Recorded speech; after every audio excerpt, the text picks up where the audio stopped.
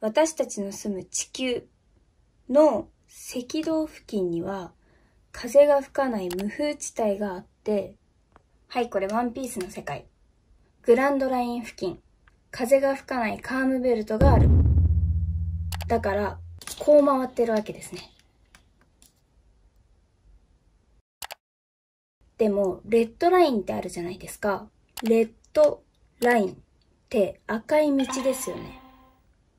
だから本当はこっちが赤道なんじゃないの？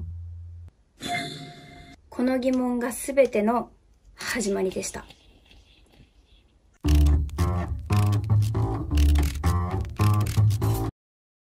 ワンピース、まだまだ謎だらけなのに最終章。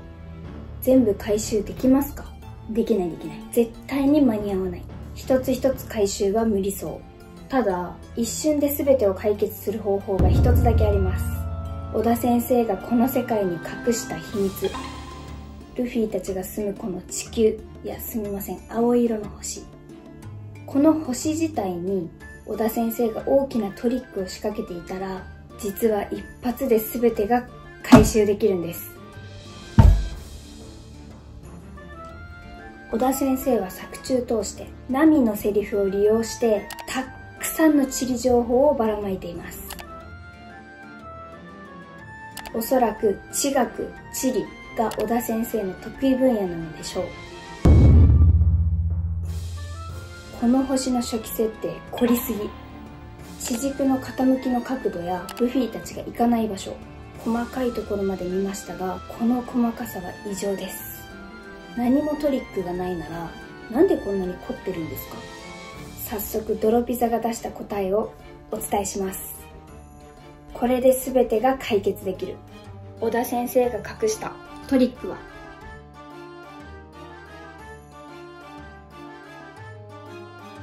ポールシフト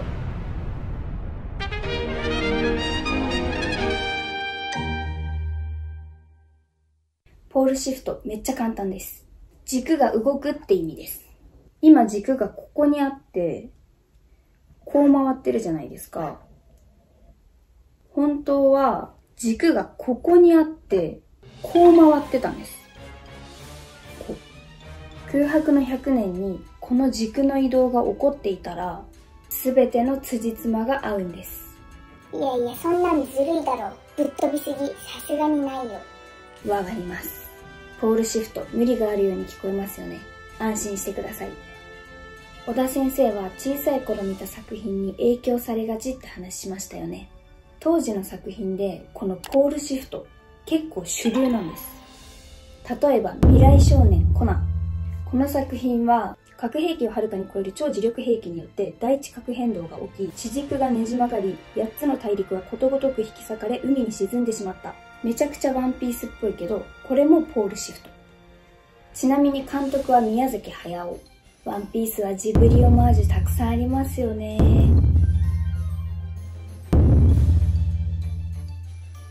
小田先生は宮崎駿監督をとてもリスペクトしているという発言もありました。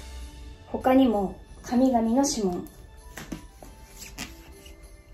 ポーネグリフにそっくりなものが出てきたり、偉いやつが泳げない人を魚に変えたり、第五の太陽ってワードも出てきます。この作品読み終わった後、ワンピースのネタバレを食らったような気分になりました。この作品もポールシフト、軸が動いています。この時代、ポールシフトの SF が多いんです。あ、ちなみに作者はハンコックさん。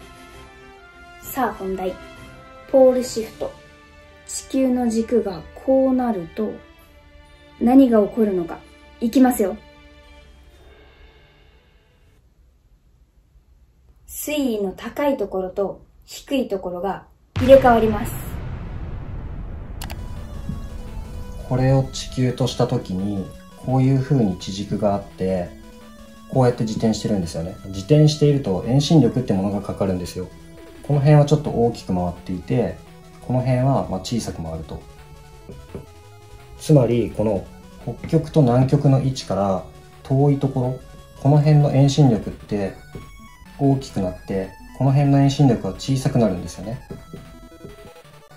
なので今この辺の水位ってこの辺の水位よりもちょっと高いんです。小難しい話はどうでもいいよって人はとりあえず空白の100年に北極と南極の位置が移動したことによって今グランドラインの水が増えているよってことだけを頭に入れておいていただければ大丈夫です。この水位の上下がワンピースの全てにつながっていきますよ。和の国が海底にある。かつて世界と接してた。ロングリングロングランド島での解説。海の中にあるインペルダウン。こんなのどうやって作るんだ？本当はここ海じゃなかったんじゃないか？水位の上昇がキーになるなら悪魔の実の能力者が泳げないという謎の設定にもようやく意味が生まれます軸が移動したっていう伏線もちゃんとたくさんあります。地球の軸がずれるとどうなるか知ってますか？磁場が狂います。空にゃ輪をかく鳥の歌。磁場が狂うと鳥は輪をかいて飛んでしまうんです。サウスバード。体内の自覚で南を向いている鳥が出てきていますよね。彼らの子供顔の向きが90度変わっちゃってるんです。サウスバードじゃなくてちゃんとウエスタンバードとイースタンバードになっている。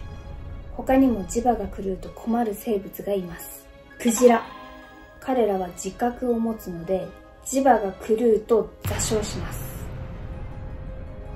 ルフィ、ロー、キッド最近じゃあ一緒に四皇を倒して麦わらの一味にセットで描かれてますけど今後不老不死の人が出てきそうですよね。不老不死の両ペの実。ヒトヒトの実モデルニカに並んで彼の実にも小田先生は大きな意味を持たせてる可能性高いですよね。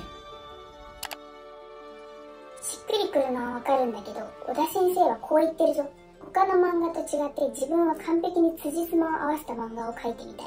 空白の100年に軸が90度動いてたら惑星はひっちゃかめっちゃかだ。自転しながら軸が動いたのか？そうなんです。そこなんです。頭のいい無駄な理論上自転しながら軸が動くと惑星ってのは大変なことになる。地球並みに自転してたらですけど自転が遅かったら問題ないんです。ワンピースの世界自転が遅くないか？異常に一日が長い船出初日でアルビダ・モーガン・バギーを倒してゾロ仲間にしてナミと手を組んでる。クロコダイル倒した次の週にはエネルを倒してるからおかしいなと思ったんです。メリーゴをもらってたくさん冒険しましたよね。40日くらいで燃やしてますからね。ロビンも行きたいと言え行きたいみたいな感動シーンあったけどあれまさかの仲間になって2週間。これだけ辻褄を合わせたい小田先生が無駄に冒険をこんなに短くする必要はありますか？おかしい。ワンピースの世界1日が長い。つまり時転が遅い。これで本当に全ての辻褄が合うんです。誰かがワンピースを見つけ軸が元の位置に戻ったら文字通り世界がひっくり返る。レッドラインが赤道になるから。グランドラインの周りはもう風が吹く。カームベルトがなくなるんです。海洋類の巣がなくなりグランドラインに自由に入れるつまり一つなぎの海オールブルーにもつながる。そしてもちろんグランドラインの流れも逆になります。競争海流深層海流の説明もありましたよね。配置は完璧。地球と一緒。でも全て真逆に書いてました。やはり水流が鍵になってるんです。水先って水の流れって意味ですね。世界がひっくり返って。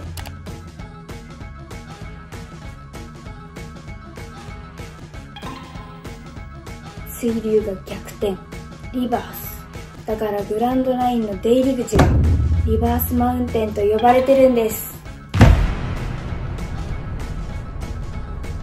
こんなのはまだ序章です。まだ半信半疑の人いますよね。明日に続きます。ででん。